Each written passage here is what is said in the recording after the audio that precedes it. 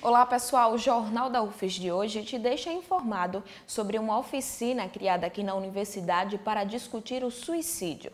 E para você que quer aprender uma língua estrangeira, o programa Inglês Sem Fronteiras oferece vagas para cursos presenciais na UFES.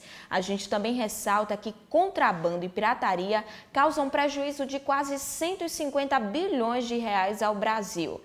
No quadro História Hoje, saiba que há 50 anos o campus da Universidade de Brasília era invadido pelos militares. O Jornal da UFES vai ao ar às 11 da manhã, com reprises às 5 da tarde e 10 da noite. Mais informações no portal radiofes.ufes.br. Rádio UFES FM, 10 anos de música e informação em sintonia com você.